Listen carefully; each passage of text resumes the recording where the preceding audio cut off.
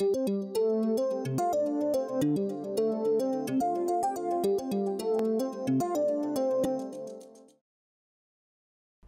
right, so the next topic we're going to talk about is lasers. So these days lasers are pretty common. You've probably used or seen a laser relatively recently. There, uh, you've used a laser certainly uh, maybe in a, a, form of an actual laser pointer where you can pick up a laser and, and, point it at things, but you've probably likely used lasers in other formats as well, like in a CD player perhaps, uh, although CDs aren't the most common way to listen to music these days anymore. Uh, lots of consumer electronics use lasers. So the question, though, for us is, uh, what is a laser exactly? Uh, clearly, it's a light source. It's a way of uh, generating light of a particular type. But how is that different from any other light source, like a light bulb, like a flashlight, incandescent bulbs versus fluorescent bulbs versus LED bulbs? Are those lasers or not? And how do lasers differ from them? Uh, so the characteristics we need to consider of a laser, and certainly these will not be, at least two out of these three will not be surprising to you if you've played with a laser pointer before. The first characteristic of a laser uh, is that it's going to be a monochromatic light source. Monochromatic just meaning single color. The light that comes out of a laser is, is of a single frequency or single wavelength, or at least very tightly bunched around a single uh, wavelength. So I'll draw some illustrations to show you what I mean. So here's a laser, cylindrical laser like a laser pointer. The light that comes out of that laser. So there's a beam of light, uh, electromagnetic radiation coming out of that laser. All the photons that come out of that laser are the same uh, wavelength. If it's a, a, red, or in this case, this pink laser, all the photons, there's a bunch of photons coming out at the same time, but they're all the same frequency as each other. That's completely different than a light source like a light bulb. So here's a sketch of a light bulb. Certainly photons of that frequency might come out of the light bulb as well. But in addition to those red photons, you're also going to, if it's a white light bulb, you're going to get blue photons with a lower, uh, um, shorter wavelength, higher frequency, you're going to get photons of all sorts of different colors coming out of that light bulb. So it's not a monochromatic light source. Uh, it's a, a, polychromatic light source that gives off lots of different colors or wavelengths of light. So lasers are going to be monochromatic. Another feature that they share is that the beam of photons that emerges from a laser is collimated. What that word means is it's um, the, the photons are all pointing in the same direction. The dispersion of this beam, it doesn't spread out very much. It stays uh, tightly collimated. We don't use the word focus because you can take a beam that's um, quite dispersed and then focus it uh, and beyond the focus point it won't remain focused. This beam remains tightly bunched over a long distance. Uh, so I've also drawn this picture of the light bulb so that this is certainly not a, a collimated beam. The photons come out from a light bulb and scatter in all directions. They don't all go in the same direction as each other. So this picture of the photons coming out of the laser pointer, those are all pointing in the same direction. If I go a long distance, they might begin to diverge a little bit very far from the light source. But again, as you know, if you've ever played with a laser pointer, you can point at something a long distance away, quarter mile, half mile away, and you can still see a, a, a tight laser beam spot from that laser if it's a, a, decent laser. The last of these features that laser light uh, shares is in addition to being monochromatic and collimated, the light from a laser is coherent. So that one's less familiar. It's not visible to your naked eye when you look at a laser beam uh, unless you do something like pa pass it through a diffraction grating. But the uh, beams of light from this um, laser are coherent. The photons are coherent. And again, I've included that in the drawing here by drawing these photons so that their peaks are all in the same place as each other, their troughs are all in the same places as each other.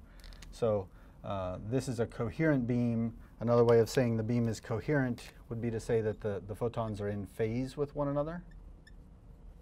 Again, peaks and troughs appearing in the same place.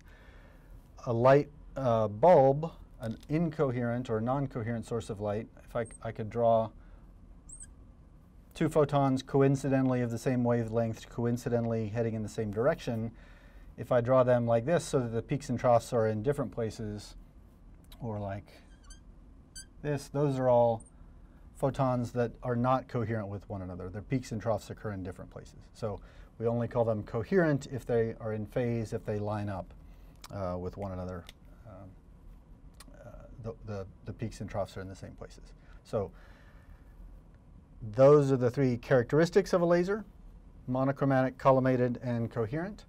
The next question becomes, how do they get that way? What is special about the construction of a laser that produces this monochromatic and collimated and coherent uh, beam of light that a light bulb does not? So we'll take uh, the, the fe those features of the laser one at a time. Let's start, in fact, with um, coherence. Um, actually, no. Let's start with, with monochromatic. That's probably the easiest one to explain. So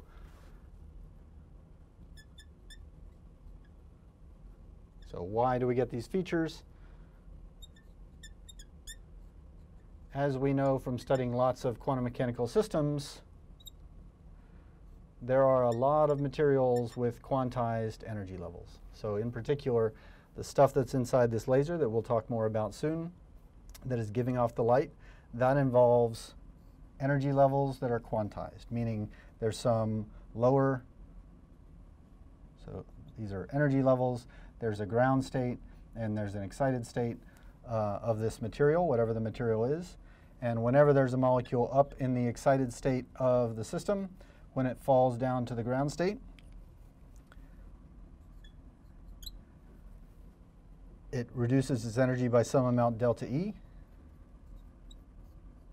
The energy of the photon that gets generated is exactly that uh, energy difference between these two states. So the, the photon that gets generated every time a molecule falls from the upper state to the lower state or the material changes from the upper state to the lower state gives off a photon of exactly the same wavelength. So energy levels remain the same.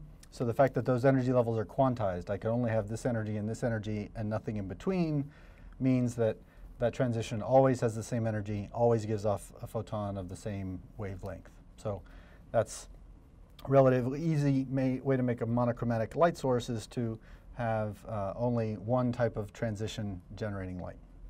So those quantized energy levels give rise to, uh, let's do that down here, give rise to the monochromaticity of the beam, the single color of the light source. Now let's tackle the coherence. So I've got a collection of molecules or a material with this gap in the energy levels. It can give off, if I have excited state molecules, it can give off lots of photons uh, of exactly the same wavelength as one another. Where I get the coherent beam of light is from a process called stimulated emission.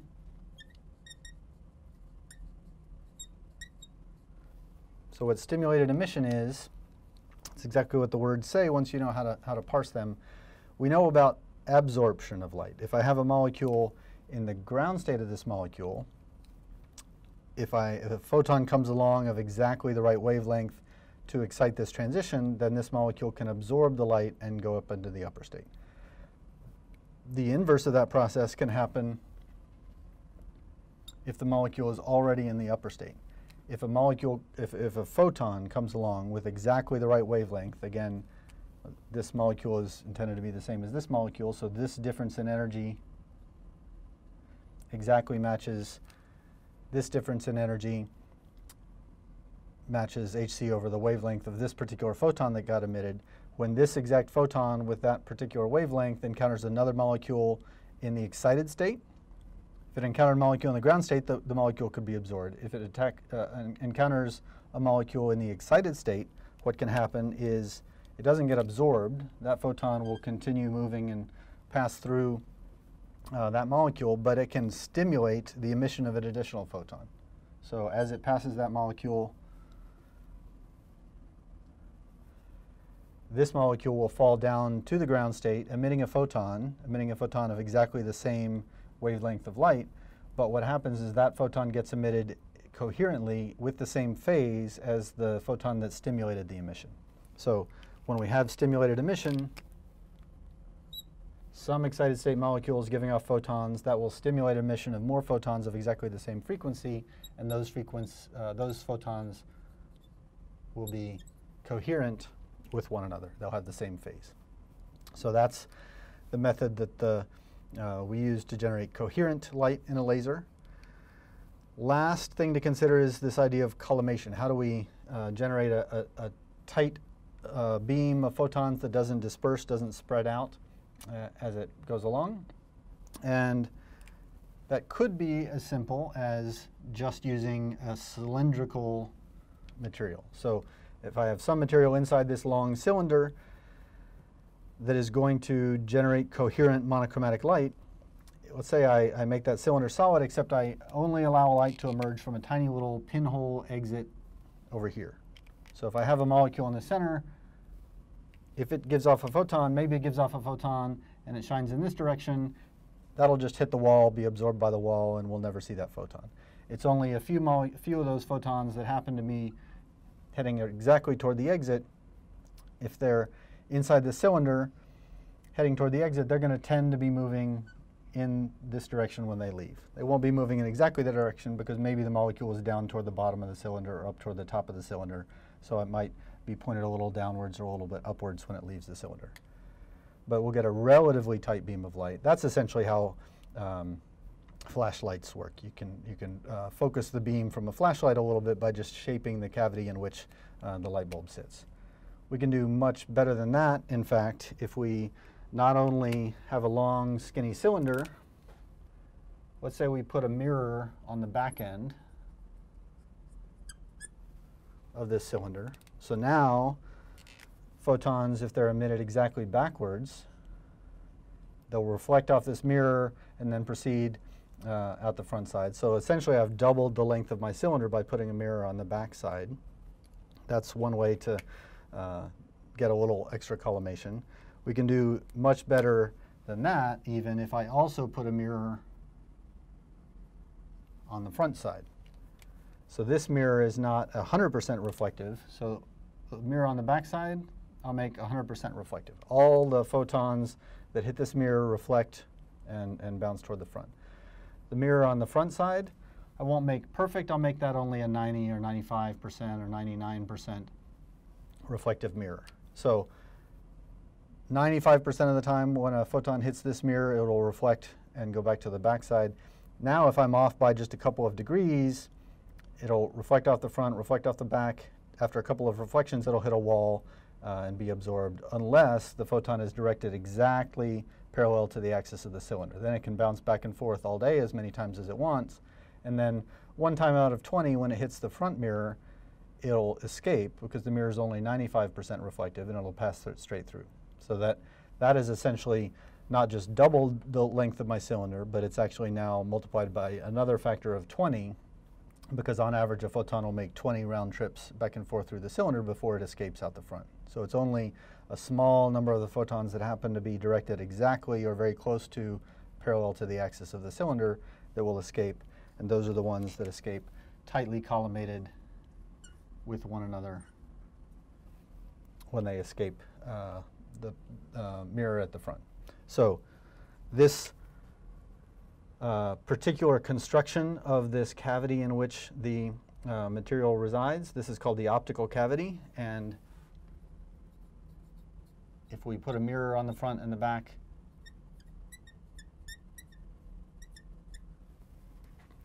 uh, we call that an optical resonator.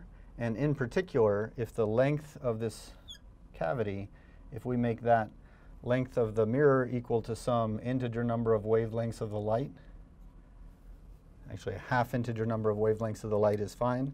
If we do that, then that will also ensure uh, that the light that comes out of the cavity is also coherent.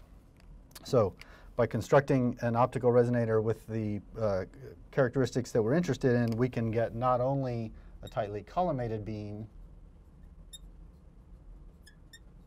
but also a coherent beam. So the optical cavity helps with both of those features of the laser. So that's uh, a pretty top level summary. I haven't told you anything about what's going on inside of this cavity other than that photons get generated, they bounce back and forth, and then sometimes they can escape as a monochromatic, collimated, and coherent beam of light. The next step will be to understand a little more detail about uh, what this material is inside the laser and how we can use it to generate photons by falling from the upper state down to the lower state.